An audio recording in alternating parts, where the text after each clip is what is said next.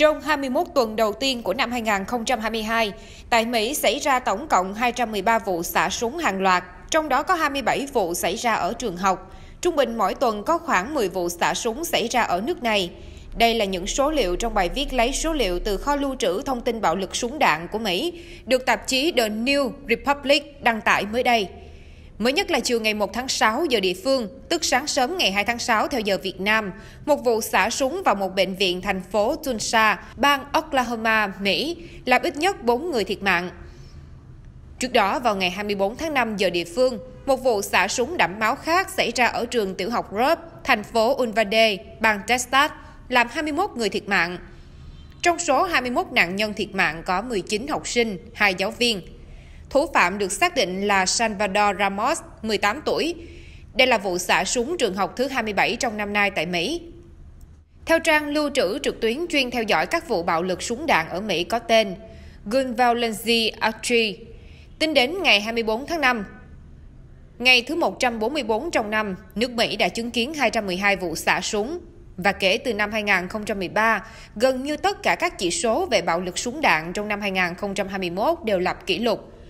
Trong khi đó, theo Trung tâm Phòng ngừa và Kiểm soát Dịch bệnh CDC Mỹ, đã có 4.368 trẻ em và thanh thiếu niên từ 1 đến 19 tuổi tử vong vì súng đạn trong năm 2020.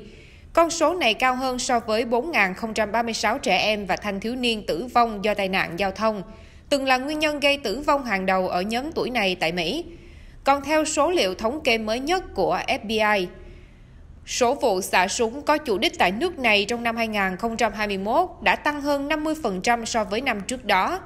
Đáng chú ý, nước Mỹ đã chứng kiến số vụ xả súng hàng loạt tăng cao kỷ lục với 691 vụ trong năm 2021, trung bình một vụ có ít nhất 4 nạn nhân.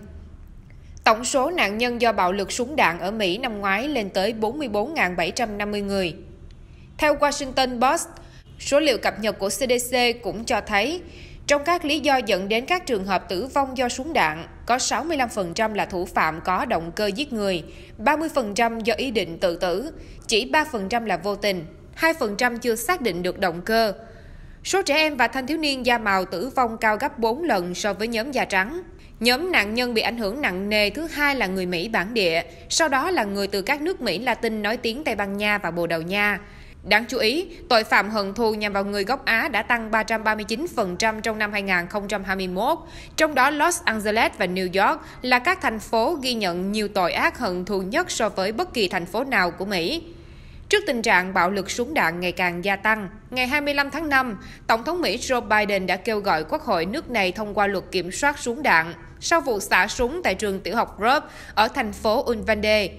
Bang Texas Trước đó, khi tranh cử vào Nhà Trắng, ông Biden từng hứa sẽ thúc đẩy các biện pháp an toàn liên quan súng đạn và giảm hàng chục ngàn trường hợp tử vong vì súng hàng năm của nước Mỹ. Tuy nhiên, ông và các thành viên đảng Dân Chủ khác đã không tìm kiếm đủ số phiếu ủng hộ tại Quốc hội Mỹ để có thể thông qua dự luật về việc kiểm tra lý lịch khi mua súng hoặc các dự luật khác. Hiện nước Mỹ vẫn đang trong cơn ác mộng của bạo lực súng đạn.